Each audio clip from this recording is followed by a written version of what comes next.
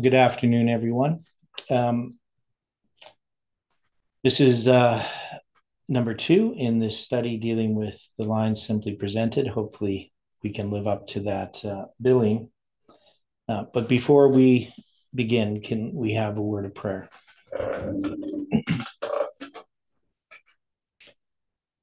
Dear Father in heaven, Lord, we are thankful for the light that has come to us from your word, the light of the midnight cry that has been shining all along the path, giving light for our feet. And Lord, we know that there is much that we still need to understand. We know as we go through these things um, simply, it does not mean that they will not be uh, deep and that insights um, will help us um, to understand these things, to pull them together, and to be able to present them to others.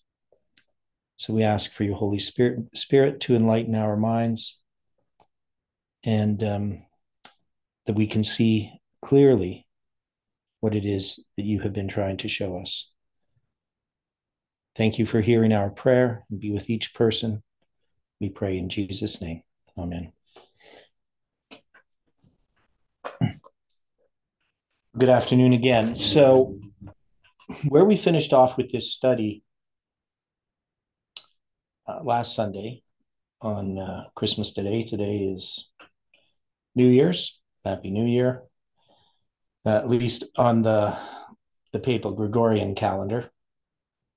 Um, it's going to come 13 days from now on the uh, the pagan Julian calendar, pagan Rome. And um, but anyway, we, we have all these different types of calendars, which are pretty interesting. Now, what we're going to look at is um, a very simple look at Millerite history. Now, there is lots um, that we've come to understand over, well, ever since Jeff began studying the repeat of Millerite history. And so we're going to go over some of the things that we, we had covered in understanding the lines back a year ago when we started looking at uh, these lines in a lot more depth uh, than we um, than we had previously. But just because we're we're going to be going over some of those things doesn't mean there isn't going to be things that we're that we haven't really noticed, um, and that in our retrospective view of things over what's happened in the past year that we will have a bit more light. So this is not um, going to go through everything, obviously, that we went through in understanding the lines. Um, there's lots of different things that we covered. But what we finished off with last Sunday was um, Revelation chapter 14. And we know that the three angels' messages were um, first seen by this movement, um, uh, the repeat of Millerite history. So we knew about the three angels' messages in Millerite history, um, but this movement first started to recognize that this was a template that we could examine to compare every great reformatory movement. And so we're, we're going to go to the whiteboard here. I can hardly wait till I get my new whiteboard ordered. Because it will be a little bit better. And have things set up a bit differently.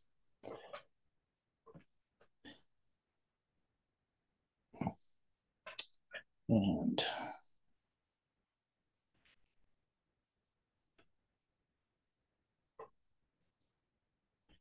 before we get to the whiteboard, I just want to read over these verses again. And I saw another angel fly in the midst of heaven, having the everlasting gospel, to preach unto them that dwell on the earth, to every nation and kindred and tongue and people, saying with a loud voice, Fear God and give glory to him, for the hour of his judgment is come.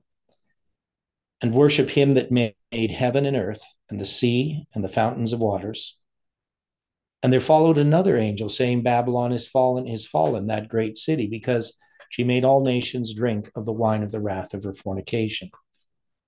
And the third angel followed them, saying with a loud voice, If any man worship the beast and his image, and receive his mark in his forehead or in his hand, the same shall drink of the wine of the wrath of God, which is poured out without mixture into the cup of his indignation and he shall be tormented with fire and brimstone in the presence of the holy angels and in the presence of the Lamb.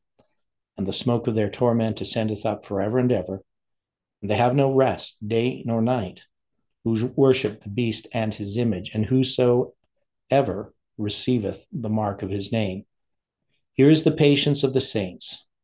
Here are they that keep the commandments of God and the faith of Jesus.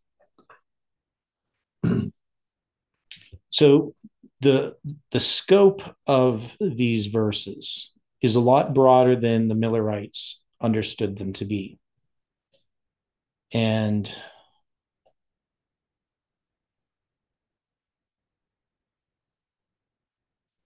I'm going to just go here to this whiteboard. Press this, and I'm going to get a few things going here.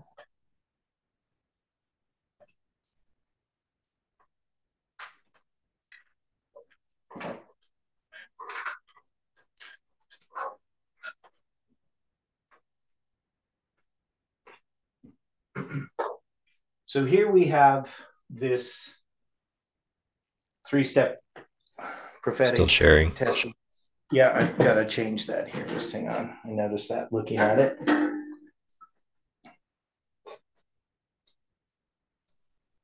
Go. And we know that this this idea of this three-step testing prophetic message is this message that was given in Millerite history this conviction of sin, confession, and repentance. And I'm going to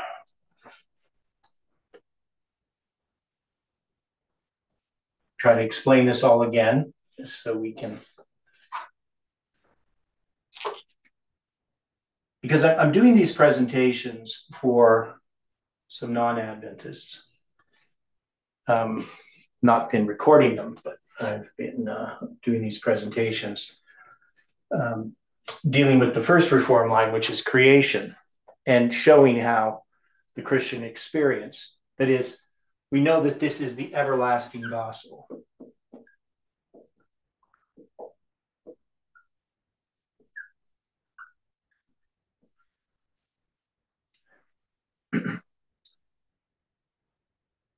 And this is really the, the foundation of Adventism. I mean, obviously, the 2300 days in connection with the sam- sanctuary is the foundation and central pillar of Adventism. So, you know, we often just talk about uh, Daniel chapter 8, verse 14 as that scripture, but we know that our message is this everlasting gospel. And we understand this as a three step testing prophetic message. So we know that there's three steps, which we we had drawn there, and we know that we can we can see them as justification, sanctification, and glorification. And that all of those are tied up in the first angel's message itself. And we know that there's this darkness. And for the individual, that darkness is the darkness of sin. And if we're a Christian, all of us has, have experienced that darkness and have responded to the light that has come to us. Now, many people do respond to this light, but it doesn't mean that they're going to continue on that course. Not everyone's going to continue to respond to light. Some people receive light for a time, but whatever reason, I don't know if there's a reason for it per se, but they choose not to continue to, to, they choose to not continue in the light. They choose darkness rather than light. They don't want their deeds to be exposed. And of course, that's counterproductive. Now, we know we, we had talked about um, that we're what we're doing is we're putting on a line in an orderly fashion the events. We're setting in order upon a line, a measuring line, which is a line of judgment. And when we look at Isaiah chapter 28, and it talks about precept upon precept, line upon line, later in that chapter, it's going to talk about judgment will I lay to the line and righteousness to the plummet. So each one of these waymarks is righteousness.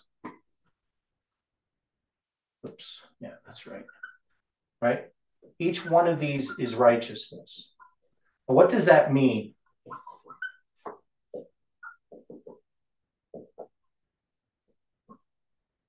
What does it mean that a waymark is righteousness? So this is all judgment. Right? So we got this judgment that is this line.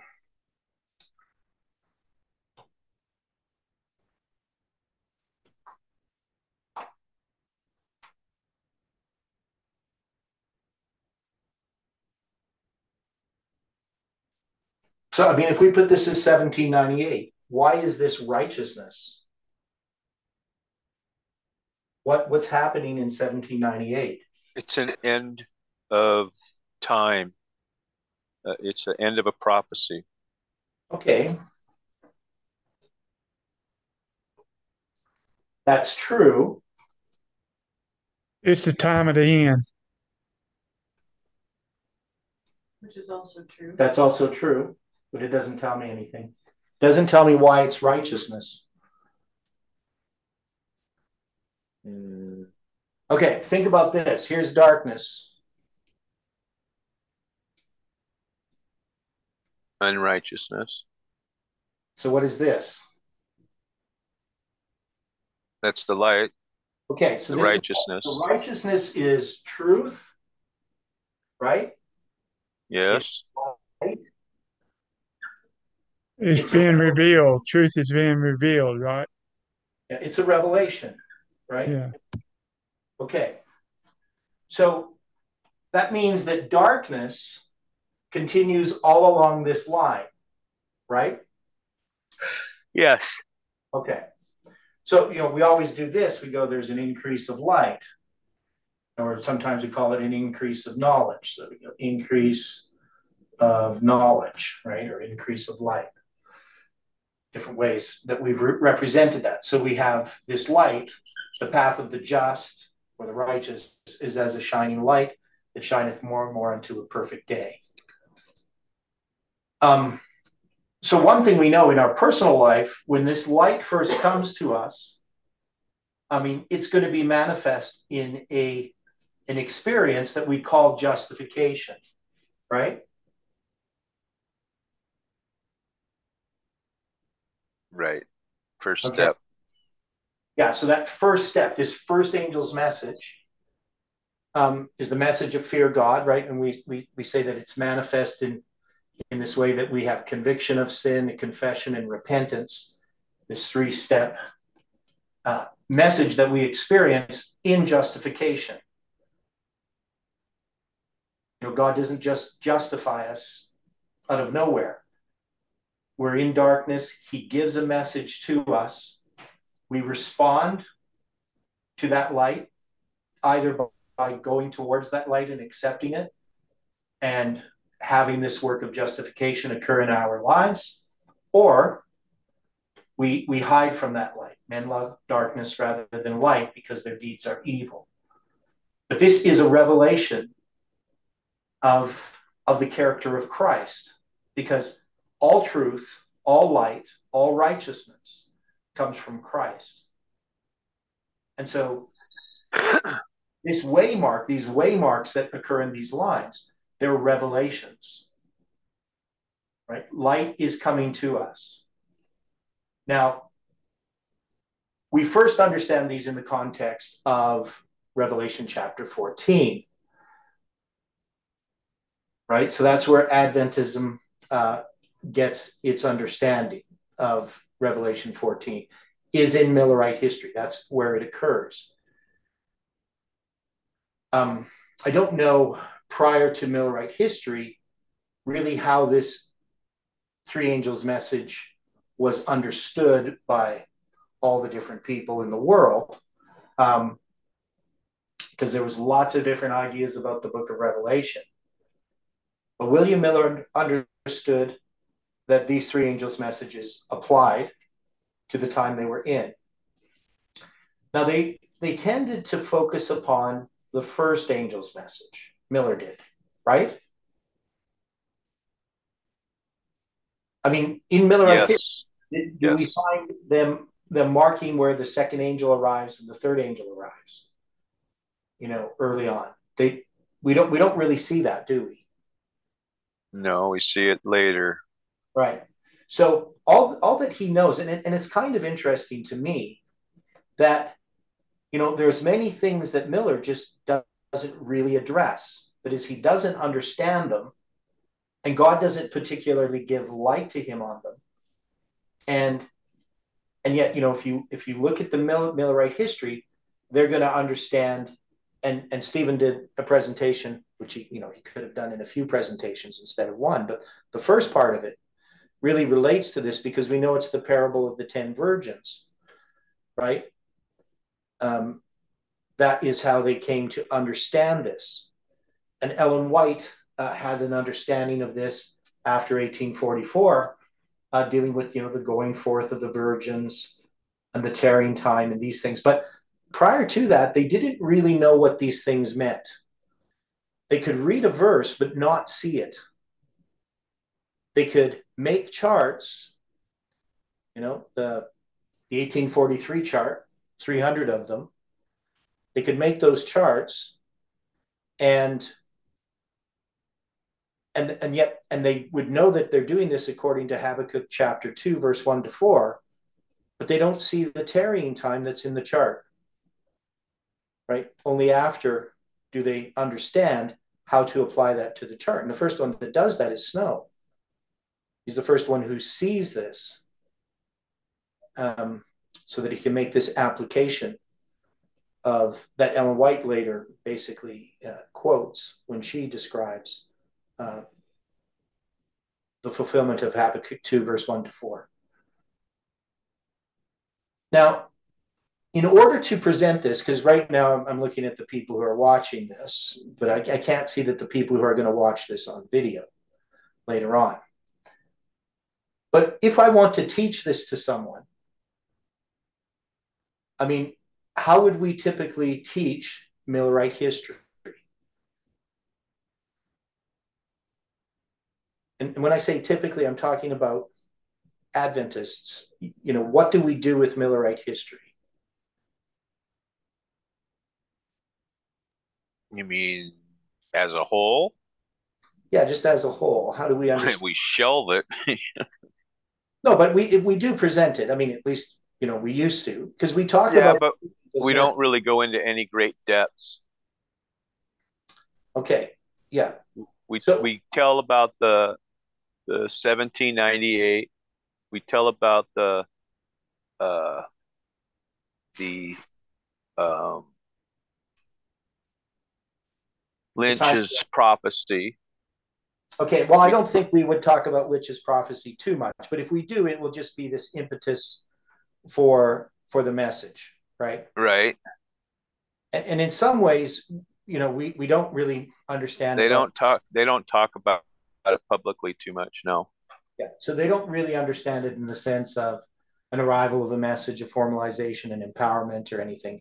They just know the message was empowered. The message of William Miller was empowered. And, and they're gonna they're going to take some of the words of Ellen White and they're going to look at Exeter. So, so if you're going to look at Adventist history, and you're going to look at Millerite, like or Millerites, from the Adventist perspective.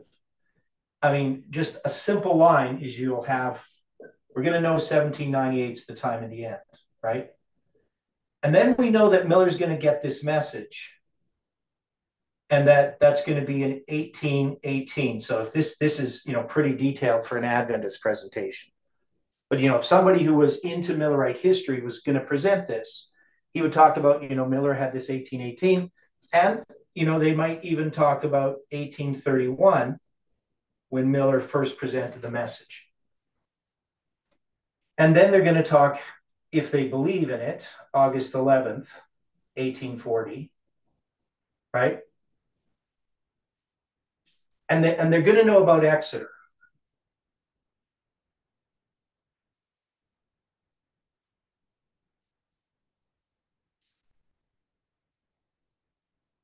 Right?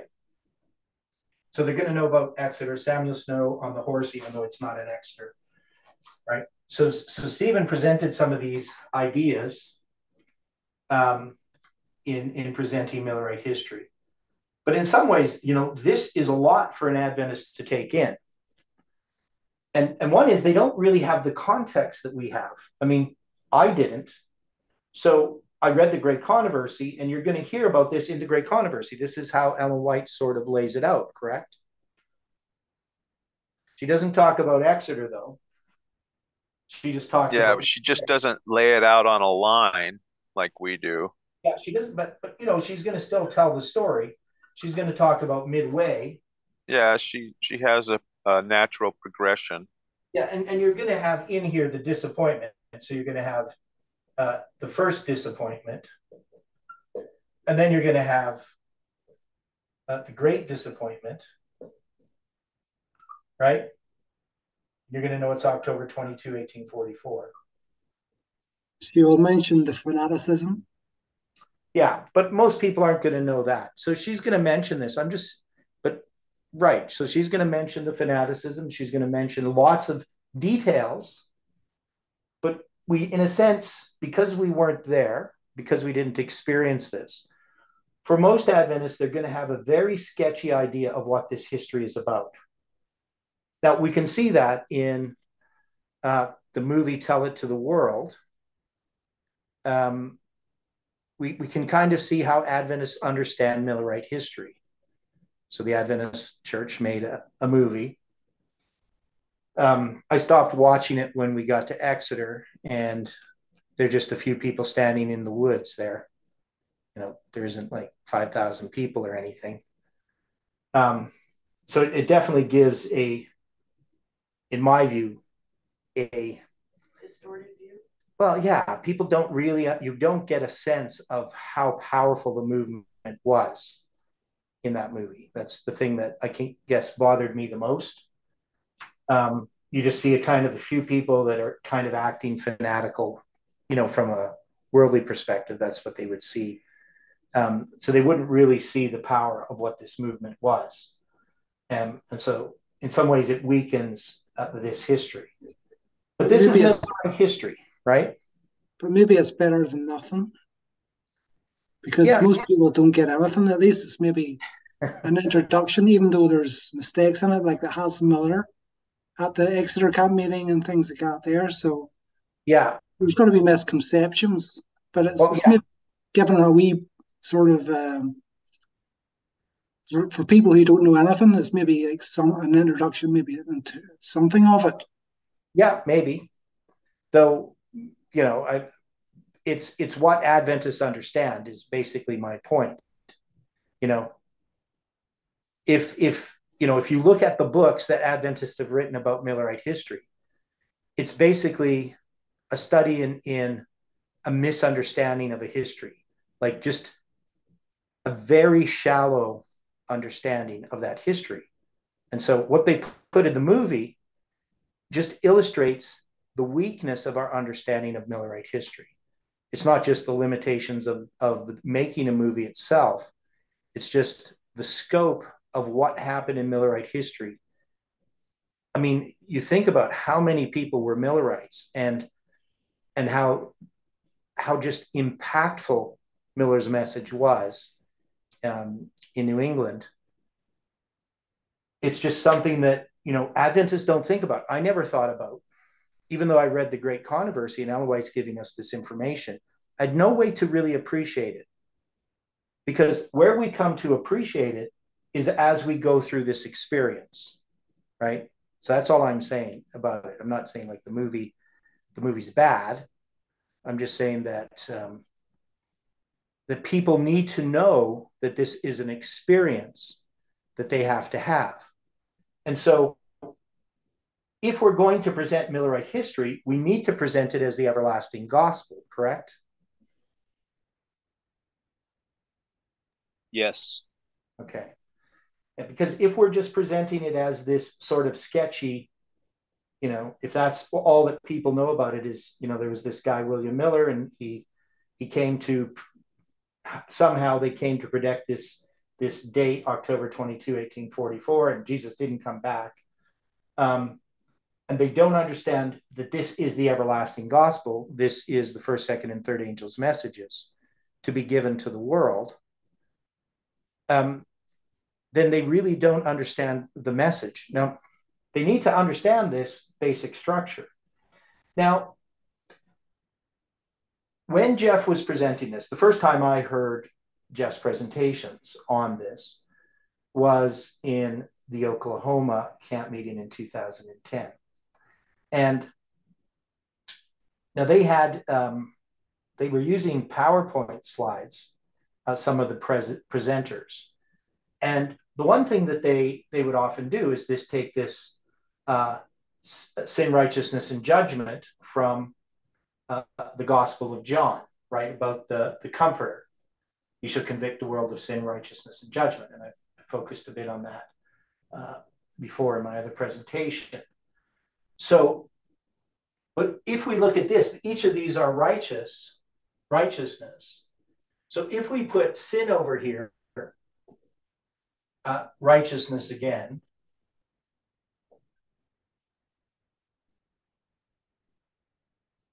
and judgment.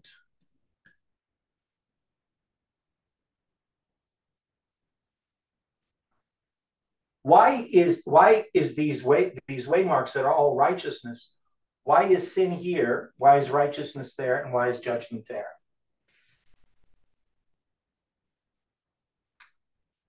Whatever this verse is, I can't remember the verse where it is, but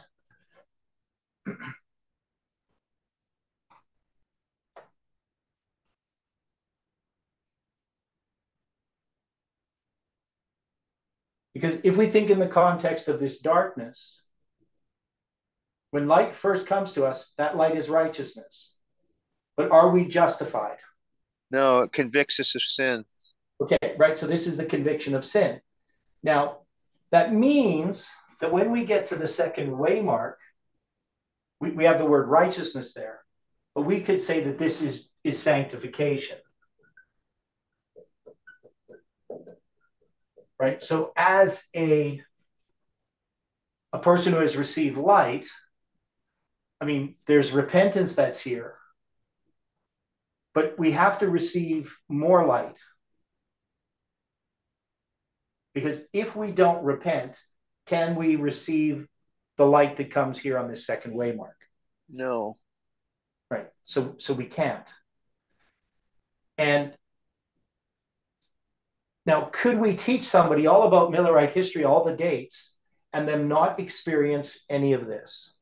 Yes. Okay. So we always talk about righteousness by faith as an experience, but that, that experience, where does it begin? I'm sorry. uh, Say that again. We, we know righteousness by faith is an experience, but where does that experience begin? Um, at when you get the light. Right. So it starts here, right? So if we're, we're going to see that, if we're going to believe that righteousness by faith is the third angel's message only, right? That this isn't righteousness by faith, only this one is. Are we We'll preaching? be, if we, if, if you can't have, you gotta have the first and second before you get the third. Okay, yeah. Um, yeah, so you, you have the, the It would, first, yeah, it would, it wouldn't be, it wouldn't be, I mean, you wouldn't, if you can't, if you don't repent at the two, first two, you don't repent at the last. okay.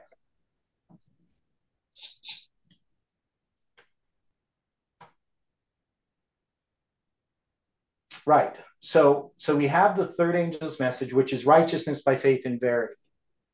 And we've come to understand that what this means is that righteousness now is worked is displayed in the life in a powerful way. That's what the third angel's message is about. Correct? Correct. Okay. So, but you can't just get there. Right? You can't you can't skip skip these first two steps and get there. That is, it's it's a three-step testing prophetic message. And and the process that we have to go through um, can be illustrated in lots of different ways uh, in God's Word. But one of the ways we illustrate it is in these various reform lines. Right? So when we're looking at a reform line, what are we looking at a reform line for?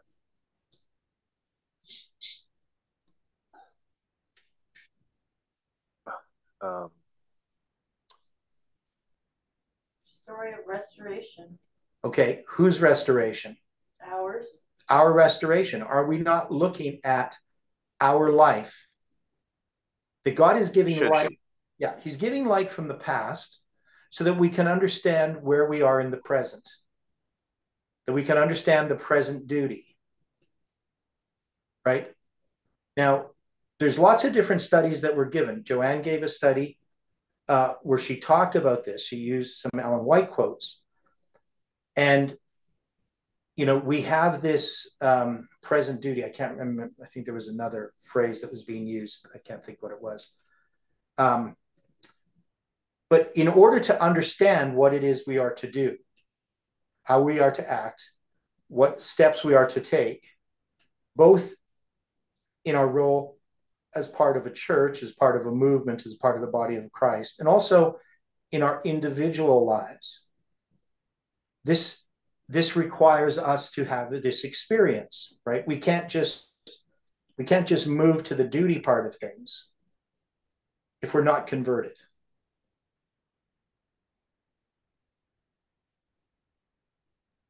Right? So so this is you know and i keep thinking how how do we teach this to people but really it's how do i understand it myself i mean how do i understand all of these things that have been given to us? Because we've we've had so much light and yet are we further along than than we were before? I mean in some ways it seems like um, you know we're farther away from the end of things than we were than we thought we were. That is as we pass through this experience i i always liken it to you know climbing a mountain or a trail where you can think you're further along than you are especially when you see like a false summit you think oh there's the summit up there and you get up there and you realize well no you're far away from the summit. That summit is way further on than you thought. And, you know, you almost give up in despair sometimes. Um, or you break down and cry. I, I've never done that personally, but. Uh, no, seen, not once, right? yeah. So, uh, so yeah, so we know in, in this walk, in this experience, that God is bringing us through the work of salvation.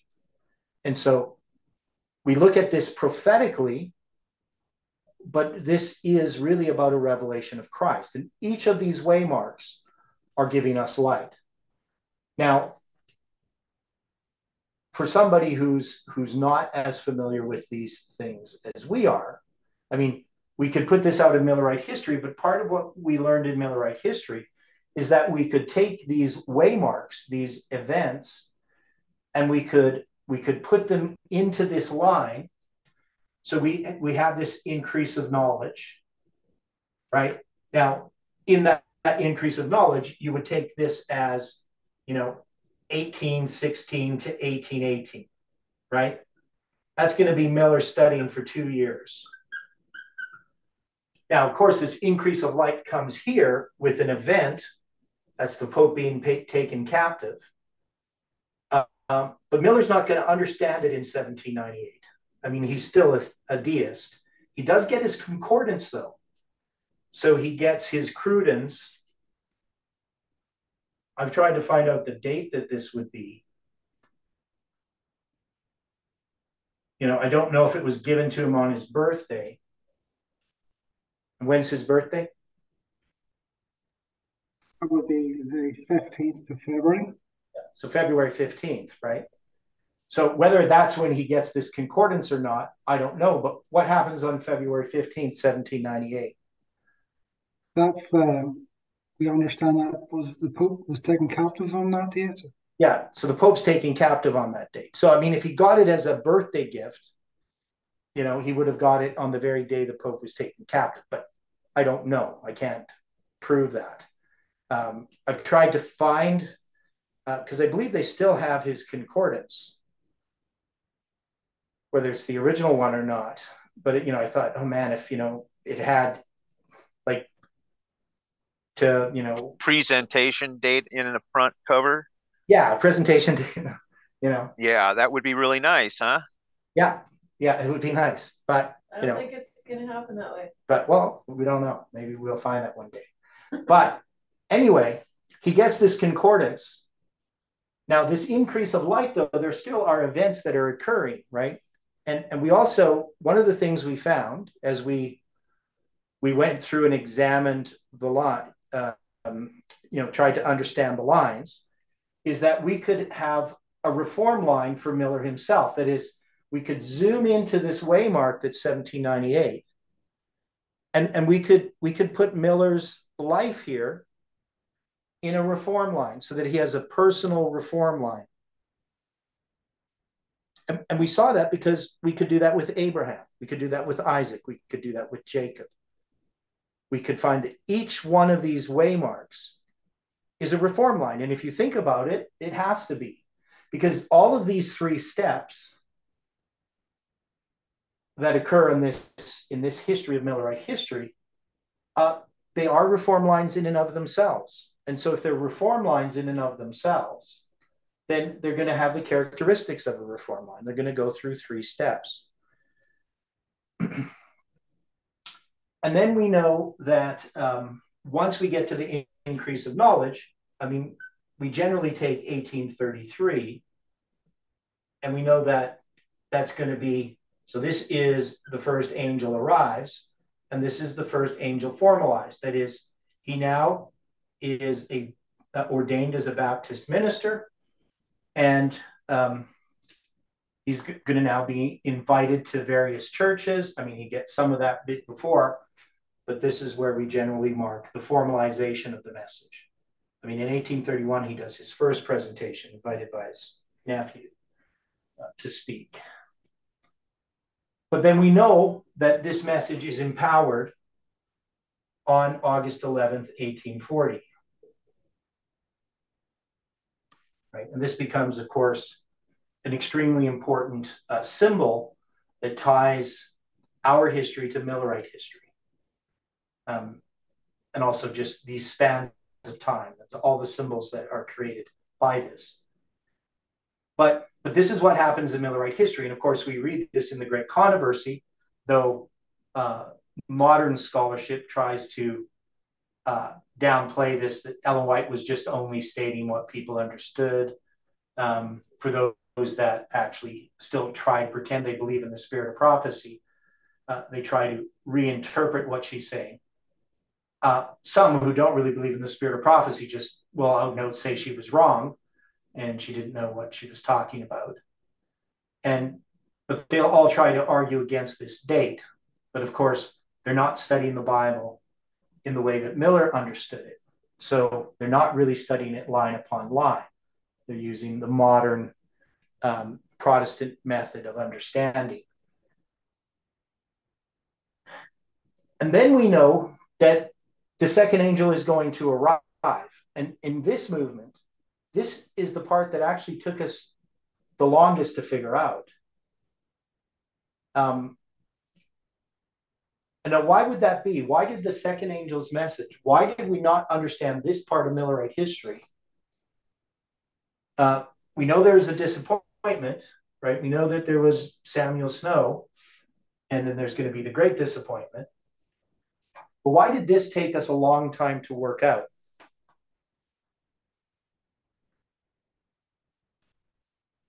Why did this sanctification part of this line. Why did that? Why was that not just something that readily came to this movement? Would it be because they was going to have to separate? Well, how about the idea that sanctification is the work of a lifetime? That Yeah, oh, yeah. Okay. That All I mean, in a sense, we we have there's a lot that has to be worked out. Now, it is the separation from sin, right? In in a much a much different way than justification is. I mean, justification is God forgives us, and and our past is counted to us. You know, His righteousness is accounted to us for our past. We don't go back and change what we did. We we still sinned in the past, and we begin to walk with Him, and then we come to this experience now where we call it sanctification, and that's that daily justification. This is separating sin from our lives step by step as we walk with Christ, coming closer and closer to Him. And in Millerite history, um, there is this, this other message which we call the second angel's message, that isn't presented by Miller, right? Now, Miller thinks he's presenting the second angel's message, right?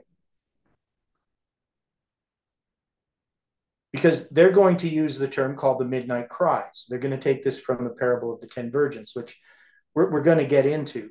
Uh, I just don't want to do that in this presentation. But they believe that they are giving this message and that Christ is going to return very soon. And that the cry that they're giving, the message that they're giving, is, is the second angel's message. Right? But we know, so we've got the first angel empowered here, that the second angel doesn't arrive until when? What has to happen for the second angel to arrive? You have the first um, disappointment. Time of an end. Okay. So Miller had a prediction, right? And he makes this prediction in um, in 1818, right? That in about 25 years' time, that this whole history of this world is going to wrap up. The world's going to wrap up. I can't remember his words, right? And so that's pointing to 1843. Now, in 1843, they believe Miller's um, Miller's prophecy is coming to an end, right? Even in 1842, in December of 1842, uh, Miller comes to understand that his, so this is after the 1843 chart is made, right? So when we look at the 1843 chart, um, where is the, the mistake on the chart? Where was the hand? Where was the mistake that God's hand hit? Is it on the top of the chart, the bottom of the chart? Top of the chart. Okay, so Top so why the is chart, right side. Okay, so this 1843 date down here is that correct? Uh, yes. Okay, it is. Why? Um, Because it it, it started it, it the thirteen thirty five. It ended it. The thirteen thirty five ended in eighteen forty three. Right. So here he's actually marking out the 1335, and we can know that because right under pagan Rome here, can't move it close to towards not long enough. But you can see over here, you got 1335 and the 1290. The difference is 45, right? That's the difference between 508 and 538.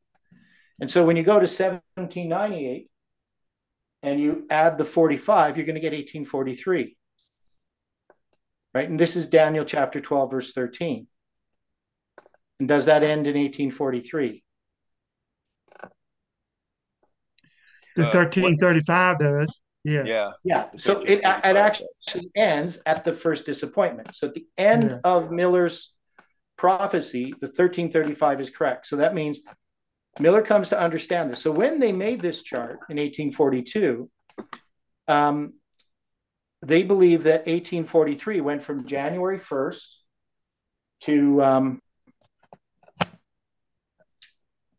January 1st, 1843 to December 31st, 1843.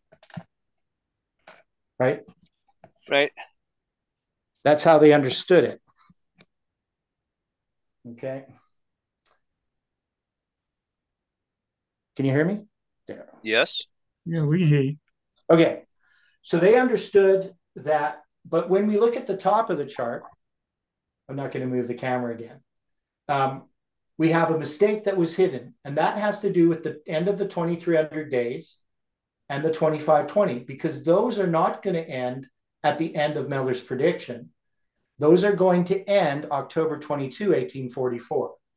So the 2300 days and the 2520 don't end at the first disappointment, they end at the, the great disappointment. The period of time between the, these two periods in an inclusive count is 187 days, right? There's 187 days um, from Miller's prediction to uh, the correct end of the 23 days, 2300 days and the 25, 20 days, 25, 20 years, pardon me. Right? So they're going to end October 22nd, 1844. Now, this is a lot of information here, but what I'm trying to, to illustrate here is that there is Miller, he only makes this, this prediction, right? Now, he, he does make a prediction about the 2300 days and the 25, 20 years, what is called the, the seven times of Leviticus 26. But it's going to be Samuel Snow who's going to present this other message. Now, Samuel Snow's message is going to be developed here. So, Snow is in this history another message, a second message. But it doesn't arrive until Miller's prediction ends. Right? We, we can't say it arrived before. Now, we used to. We would say it arrived when they made the 1843 chart and the Protestants closed their doors. So that's going to be summer of 1842. Right? That's that's when we first said it. Wouldn't that be when the first angel ended and the second arrived? 1842. No, the second doesn't arrive in 1842. We used okay. to say that, right? Right. Because we didn't understand Millerite history. So, I mean, we didn't even have the correct dates for the disappointment uh, because those were moved over, right? The, and, you know, I'm not going to go into all that. But what we know is there's Miller's prediction ends, and then the second angel arrives. Now, the second angel, of course, just like we have with the first angel, it arrives, but there is an increase of knowledge, right? Because in this line, darkness goes all the way through this line. But light also goes all the way through this line, right? There's this constant increase of light.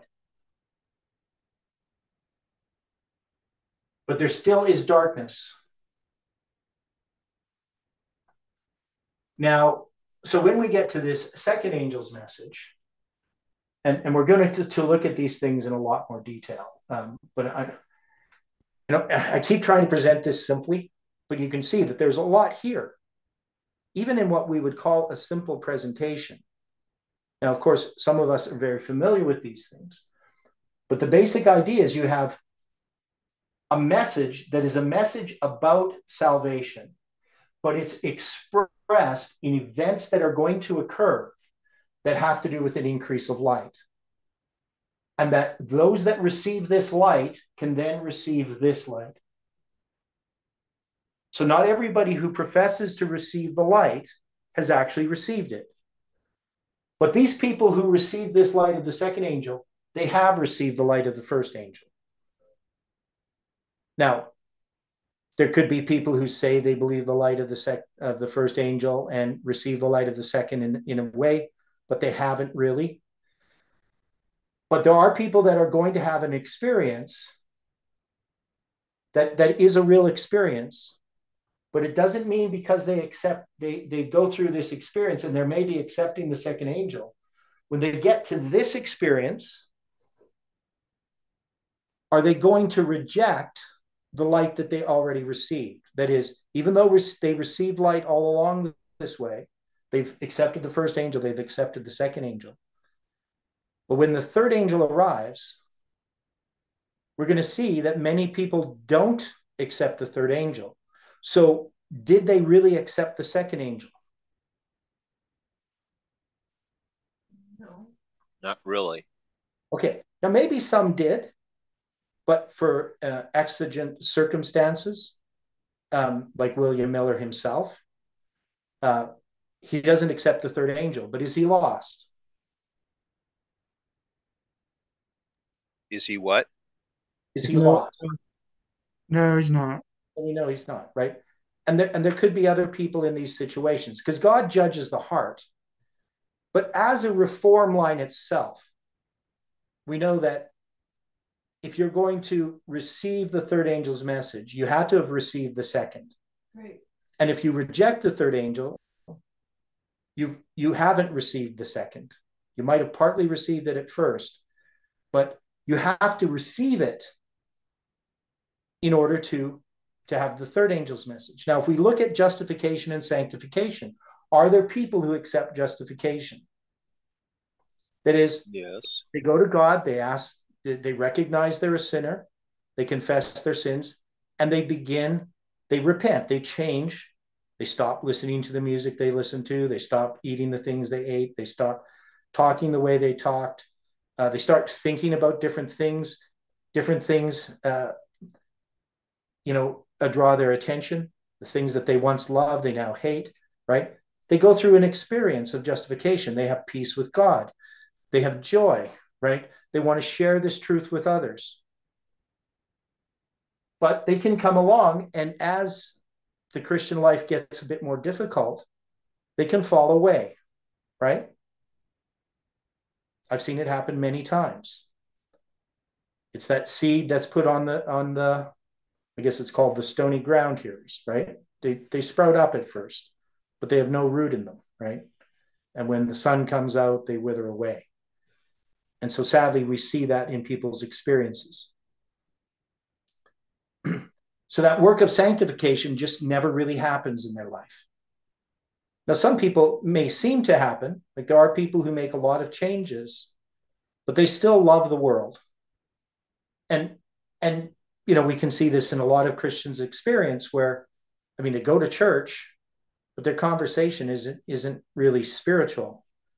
I mean, they still talk about the world on Sabbath if you're visiting them. You know, it's it's not going to be a conversation that you want to have, not just on the Sabbath, but maybe even any day. Right? There's just the things that interest them are different. So they may have responded at one point, but now, this work of living a Christian life, they have all kinds of excuses of why you know we don't need to live that way, why this isn't important, why that's not important. Now, some people, of course, can be very sanctimonious, right? I mean, you can think based upon what they how they talk that they must be following God, right? They must be really righteous. They must be very good people. Um, but of course, their character of how they act when people aren't looking or when they're dealing with their spouse or something like that, I mean, they can be very unchristlike. And so this work of sanctification isn't really taking hold upon them. But we can see then that this final step, the three angels, the third angel's message, this is a demonstration of Christ's righteousness to the world under some of the most trying circumstances, right? And so this is the work of judgment. So when we look at this, and notice I don't just say justifications here and sanctifications here. This is when they begin. It's this three step. So judgment, are we in the time of the judgment since October 22, 1844?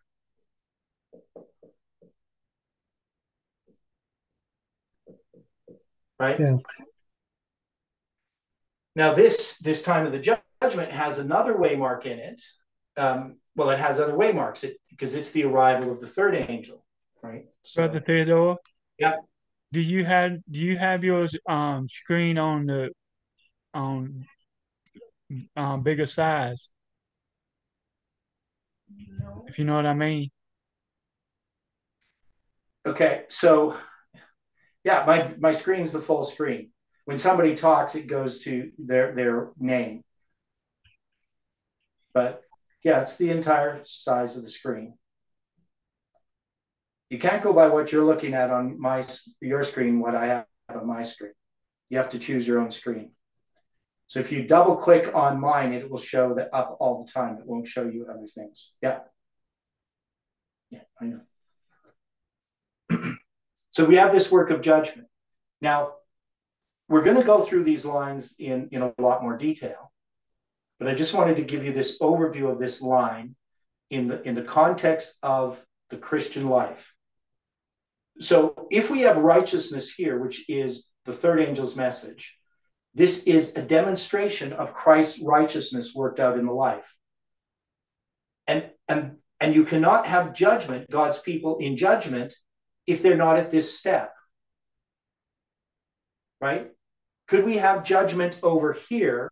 Could we have the Day of Atonement begin here?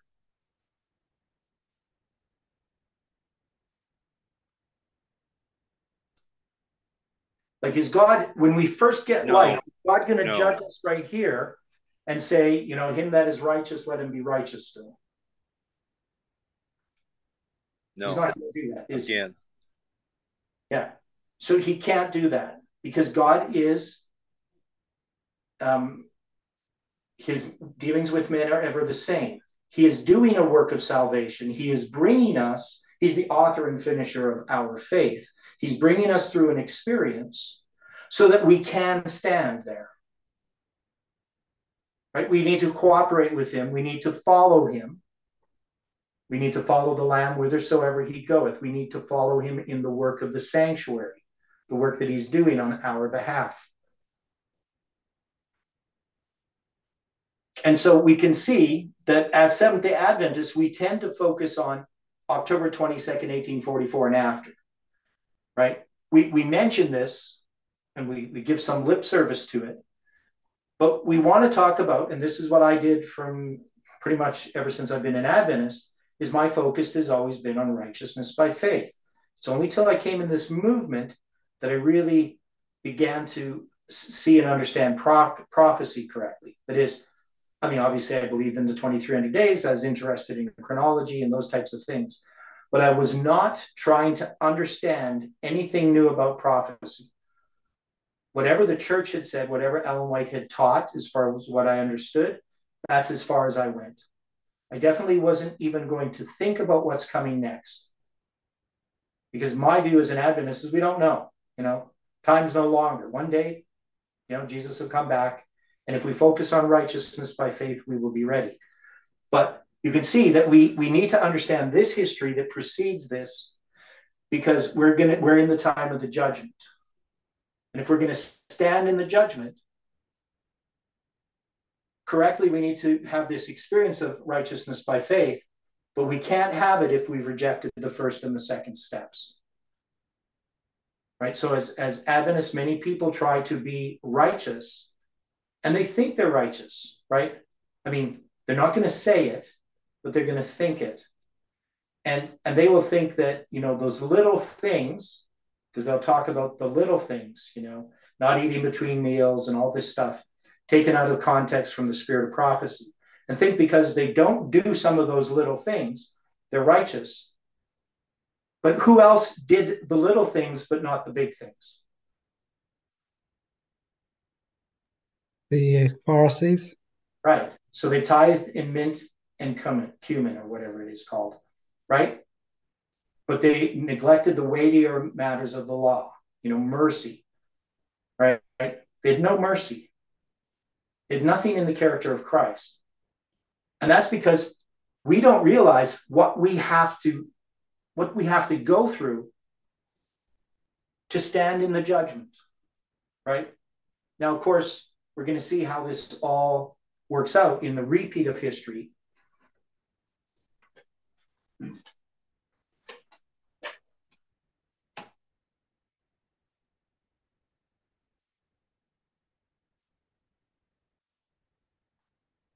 But when we when we go into the repeat of history, I mean, we're going to take our time again. Now, I like to do these broad strokes, right? I like to give these overviews, but I, I tend to put too much detail in them, right? But the thing is, we're going to go over them again and again. And so, this everlasting gospel is not just about external events, it's about how God is working in our lives. And these external events, these things that have been happening in the world, the things that are happening in this movement, the things that are happening in the church, all of these things are experiences that we have to pass through. And it, it's a very difficult um, thing to do, right? To go through this work of being transformed from somebody who was in darkness who can stand in the presence of Christ. Because Jesus just shined a little bit of light into our life, and we were almost completely undone. And, and it was just a little ray of light that reached us. And God keeps pouring light upon us, but these are still the light that He wants to show us compared to His eternal glory what he has shown us is just a fraction of the light that exists. We barely understand Christ's character. Our, our minds, as we know, are not able to comprehend the depths and the riches of Christ's character. And so, as we take up our cross, as we yoke up with Christ, and as we go through this experience of justification, sanctification, and of judgment, um, we have a deeper appreciation for God and a love for those around us. And we are then empowered to give a message. And Christ's character will be seen upon us. It's, it's, it's a miracle, it's not something that we could manufacture. And God has given us these steps, this line upon line. So we know we're analyzing them, we're writing them line upon line, precept upon precept, setting them in order. But we do that because God can speak to us through these lines. And, and these lines were misused by others, just as all truths are misused, because people were using them to justify themselves. People were believing that, you know, on such and such a date, I'm not going to be a sinner anymore. Right? So, so this is this is where we're at in in understanding these lines. This is where we're beginning. So uh, we're going to close with prayer. Any uh, final thoughts that are extremely important?